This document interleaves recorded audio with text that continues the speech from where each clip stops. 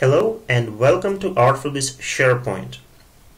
Today we'll show how to place shopping cart web part on your SharePoint 2013 site after it was installed on your SharePoint.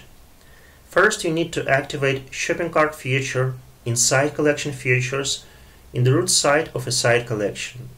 Then create a new site, give it a title and URL, select ArtfulBits shopping cart web part site template, click create and hey presto!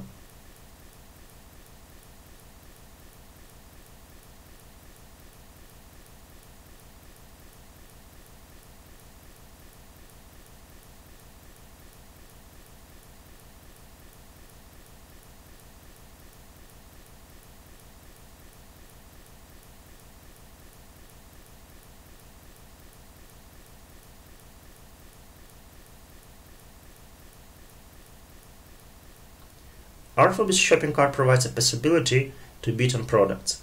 This feature exploits timer job feature that is not enabled by default.